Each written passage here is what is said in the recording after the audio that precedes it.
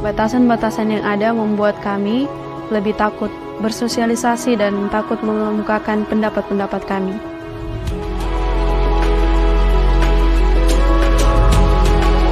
Perkenalkan nama saya Indra. Umur saya 17 tahun. Dampak dari pernikahan dini untuk perempuan tentunya yaitu putus sekolah, e, berdampak pada kesehatan juga seperti hamil pada usia dini, tentunya akan berdampak juga pada anaknya tersebut nanti. Akan menjadi stunting. Juga e, berdampak juga pada e, kekerasan pada anak. Yang saya harapkan untuk perempuan-perempuan di sini lebih mendapatkan hak-hak mereka e, bersekolah, menggapai cita-cita mereka agar bisa mendapat kesetaraan dengan gender yang lain.